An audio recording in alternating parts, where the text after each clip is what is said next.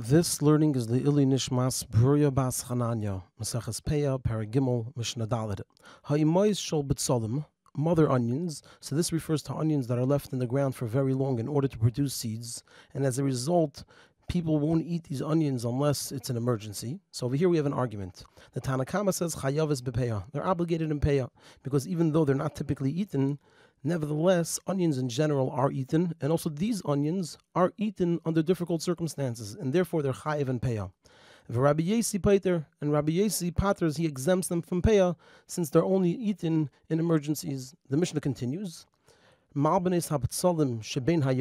someone planted square patches of onions in between sections of vegetables, so there are square patches distributed throughout the field, and there are vegetables planted between one patch and the next. So here we have another argument.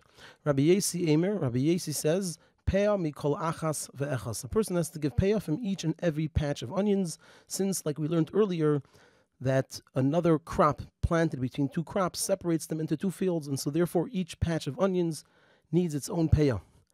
And the Chachamim say, achas al hakel. A person gives one peah from one of them for all of them.